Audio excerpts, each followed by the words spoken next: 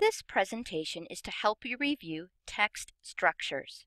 It's part of a test prep review to get you ready for your state standardized test. Please take notes as you follow along. The first text structure is sequence. Sequence is when the text tells the order in which things happened. Our visual reminder is this arrow with the numbers 1, 2, 3 to indicate order. For example, first the teacher gave us a ticket. Then she showed us this video. Now we are taking notes. That tells the order in which things happened. First, then, and now are great signal words to indicate that the text structure is sequence. The second text structure is compare and contrast. We use this Venn diagram as a visual reminder. When we read a text that uses compare and contrast, the text tells how things are different, which is represented by the outsides of the Venn diagram, and uses signal words like different, apart, however, and whereas. The text tells how things are different and the same. The same goes in the middle of the Venn diagram and uses signal words like both, similar, and like. The third text structure is cause and effect. This is when the text tells why something happened and what was the result. Our visual reminder is this arrow that leads to the star. The arrow tells why something happened. The star tells what was the result. For example, why are we watching this video? State tests are coming up soon. What is the result? Teachers are reviewing with their students. Some great signal words that you might use to help you determine that the text structure is cause and effect are as a result, because, since, or if.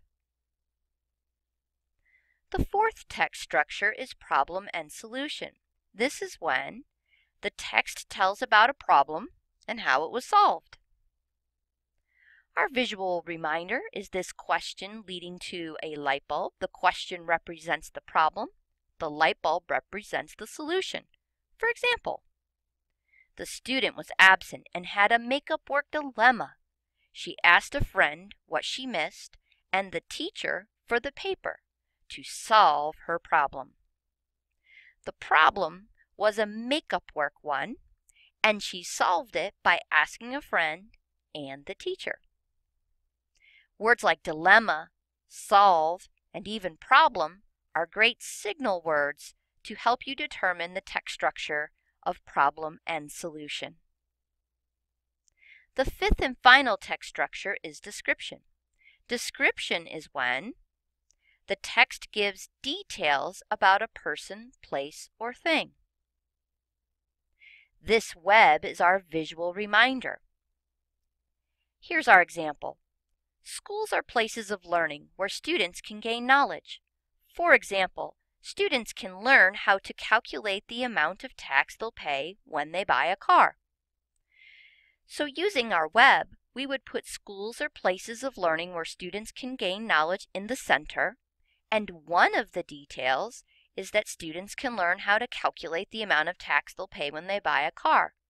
Obviously, there are several more details of things that students can learn while they are at school.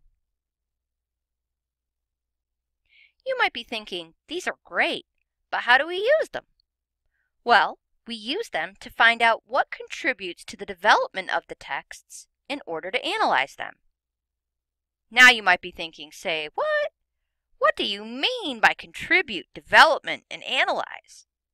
Well, contribute means add to, Development means change, and analyze means to draw conclusions when you look deeper for meaning. So let's put that all together. The text structure adds to the changes we learn about in the texts as we read and impacts our ability to understand what we read as well as draw conclusions. So basically that means that understanding text structure helps us to understand what we read better and make us better able to answer questions about the texts.